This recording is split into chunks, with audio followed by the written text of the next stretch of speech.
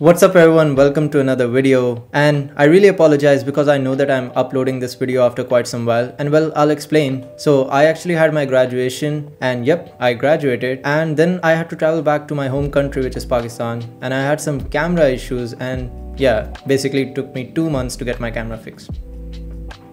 So I'm bringing you a very interesting topic today and that will be talking about my Google interview experience. I'll go over the entire process and provide you details that will help you to crack your own interviews, to get the interviews and to crack them. I'll be providing my interview experience detail to detail and this will help you to get your own interview journey started if you want to apply at Google or any other company and it will also help you to prepare for your coding interviews as well in general as well as for Google. So the application process was very similar to other companies. So basically basically I reached out to a lot of people. I reached out to the people that were working at Google and I tried to get a referral because referrals are very, very important because they help you to stand out during the application process. They will make sure that your application is at least being reviewed and you have better chances to make it to the next round. So I got a referral through LinkedIn by basically spamming a lot of people, which was my technique back in those days. And by getting the referral, I at least made sure that my application was getting noticed. So after I got my referral, it took me about two months to get my first reply and that was the coding challenge. And the coding challenge is basically the first part of the new grad interview process and it is a one hour coding challenge consisting of two questions that you are required to solve. So the coding challenge was pretty interesting and for me it was pretty hard. And so the difficulty and the topics of the questions can vary person to person because I had another friend of mine who went through the same process through the same coding challenge and they actually got a much easier version compared to mine while mine was much harder. So my friend was able to solve it in about 25 minutes, both of the questions, and they were both easy. But for me, both of the questions were very hard, and I was able, I wasn't able to solve one of them, and the other one I was just able to come up with a bare minimum solution, and that was it. So I was pretty disappointed, heartbroken at this point, because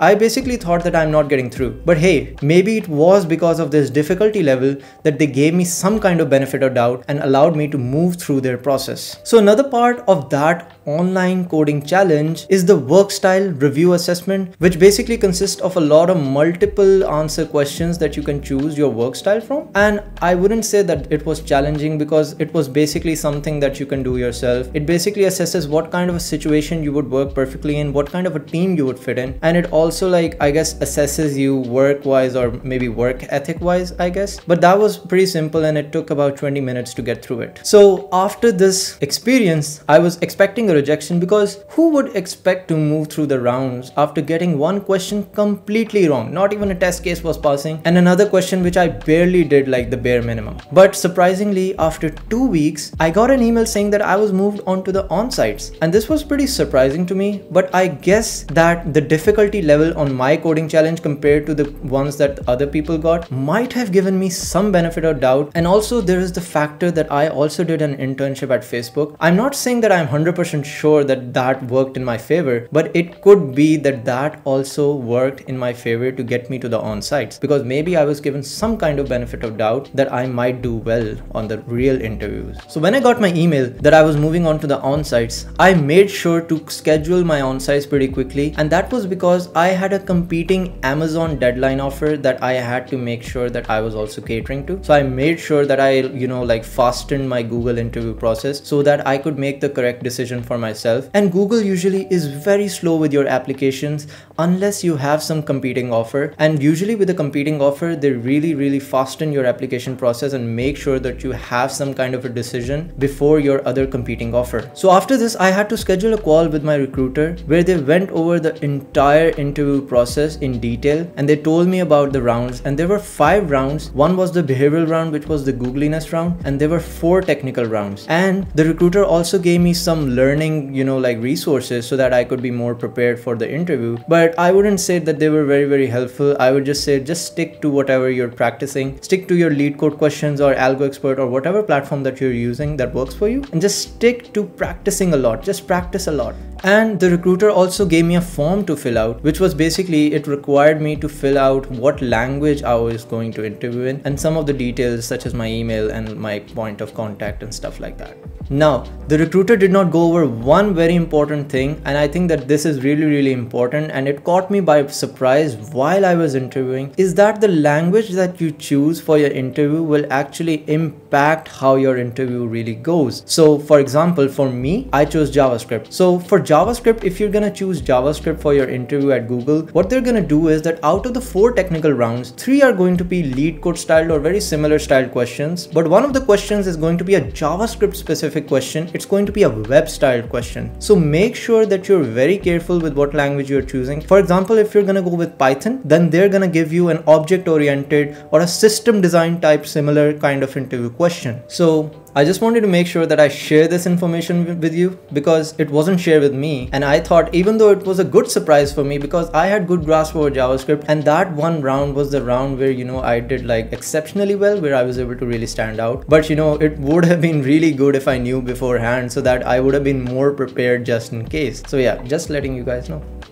now before the interview, I was like mentally prepared for it. I had Amazon in my bag, so like I wasn't like sweating a lot on it. I think that that really helped me to be like mentally prepared for the interview because if you're thinking a lot on it, if you're like going to worry a lot, there are chances that you might just mess up. Just be yourself, just relax for a bit, just go and eat your favorite breakfast or whatever you prefer and get ready to crack your interview. Well, that didn't go as well as I planned because I wanted to eat a good breakfast, but unfortunately unfortunately, I woke up like 10 minutes before my interview. I like ran crazy to the bathroom. I just made my hair with my like hands and I just washed my face I came back. I was like really sweating at this point. But gladly, like the first round shows up and it's the googliness round and it's like a behavioral styled questions and stuff like that. And I was really prepared for this and you can also be prepared for this by really preparing for behavioral styled questions and you should know how to answer them. Go and read about Google's work culture culture and stuff like that, their values, and try to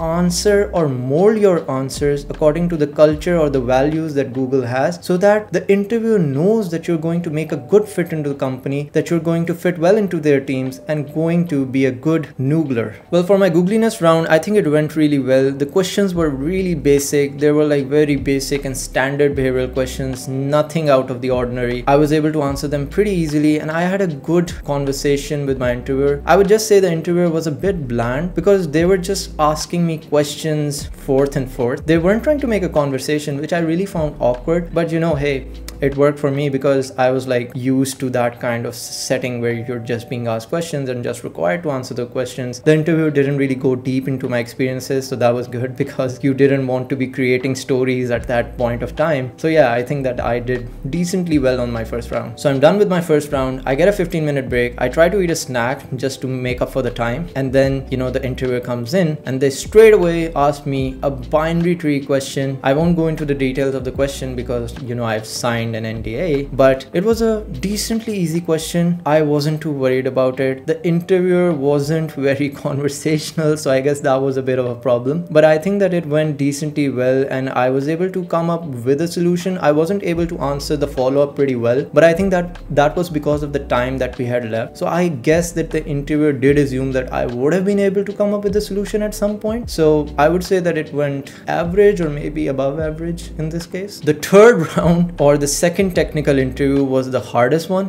and it was a DP question. And you know I I really suck at DP I'm not gonna lie. I'm not gonna pretend to be that guy who's perfect you know? And it went hell like hell. It wasn't good. I didn't do well at it. I tried to use some kind of an approach. I tried to you know like some use some kind of dynamic programming. I guess the interviewer was intrigued by my approach because they kept saying that you know I'm really intrigued. Try to go into it. Try to go deep into your solution. But you know I wasn't really able to come up with it. I just coded out the brute force at the end, but that was it. And like the interviewer, I like asked them a few questions at the end because we had some time because I was stuck, right? Emotional, damn it! So apart from that, yeah, this round really sucked. The fourth round was a really good round. It was graphs. I had a lot of practice on graphs. I had done a lot of DFS, BFS, and it was very, very easy. A question that I had nearly even seen across a lot of platforms. So I w I won't repeat the question, but it was pretty simple simple and the interviewer asked me to do it with one approach first and then they asked me to do it with another approach or with another another traversal technique and I was able to do it with both and they were really happy with my approach and how I did it. So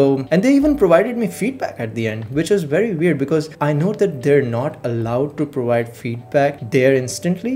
Maybe the interviewer didn't know but yeah it was really cool like having the interviewer provide you feedback there on point and they did say that I did really well on this but they also gave me some coding tips to perform better in the future as well. Now the fifth round is where I was really able to stand out. It was a JavaScript problem. And because I had been interviewing a lot for front-end positions, I was extremely comfortable with JavaScript style problems. I didn't even feel it to be like an interview. I thought that it was really like a conversation with another senior web engineer where we were trying to solve the same problem at the same time. We were having this conversation back and forth. I was even asking them questions, okay, so why do you think this would work better than this? And they were answering me like they were saying, okay, so this would work better because of this and this. And it was really like having a conversation on your own project with some senior engineer and trying to learn on point. And we were able to solve the question. I was able to answer all of the follow-ups as well. And I think that this round was the make or break for me because it really helped me stood out as a web engineer. And I think that JavaScript interviewing in JavaScript also gives your interview a bit of uniqueness. And if you're able to do well on the uniqueness point of view, that is the JavaScript round, you would be able to stand out even better because then the interviewers would be assured that you're good at web engineering or at JavaScript. So you could see that in general, I did really well on some of the rounds and I did really bad on one of the rounds. And I would say that this is much better than doing average on all of the rounds because if you do exceptionally well on some rounds, they would give you the benefit of doubt. They would be able to know that you're able to do exceptionally at some point. So make sure that you have those clutch rounds. Even if you don't do well on a few rounds, it doesn't matter if you have a few clutch rounds as well in your bag. Well, it took some time for Google to evaluate me. I think it took like two weeks and I was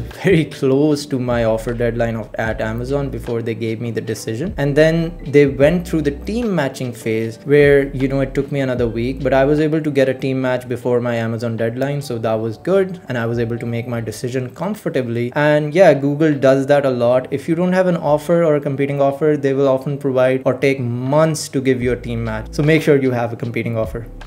I would just like to mention that Google also evaluates your resume while making the decision. So how it really works is, is that the hiring committee sits down, they have your resume or your whole portfolio, and they also have the feedback from all of the interviews. So basically all of that combined is gonna help you in your decision. So maybe for me, if having that Facebook internship might have benefited me while I was going through that hiring committee process, and it might have given me some kind of an edge to get hired at Google. So I'm just mentioning this that resume does play a role when you're getting hired as well. So I hope that you found this video to be insightful and that you now have a good idea of how the interview process at Google works and how my journey went. And I really hope that this helps you with your journey as well. Stay tuned for more content because now I have my camera fixed. Now I have my entire setup and I'm gonna be making more video for you guys. So yep, stay tuned for more content. And please, as always, like this video and subscribe to my channel because that keeps me motivated to make more video for you guys. See you guys in the next video.